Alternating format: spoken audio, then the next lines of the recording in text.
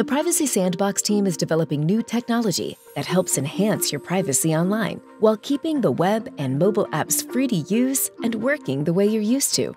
One of the main ways we have access to free web and app content is through online advertising, as millions of companies, web publishers, and app developers fund their business through ads. However, the most popular technologies used today to measure the success of these ads rely on individual identifiers to track your activity online across sites and apps. Attribution reporting is a new privacy sandbox proposal that will help advertisers measure the performance of their online ads without needing to track people's activity across websites and apps. Let's take a closer look at how companies providing advertising technology can use the proposal to prove the value of their ads without needing an individual identifier for you. Imagine you're browsing the morning news and you see an ad for a pair of headphones that are on sale.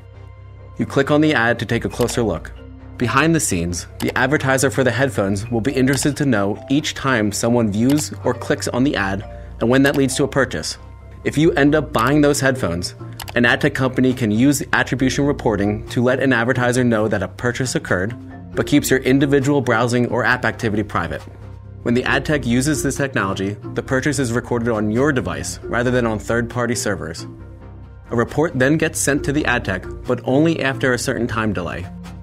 To further protect your privacy, the reports that the advertiser receives contain noise, meaning that random data is added in.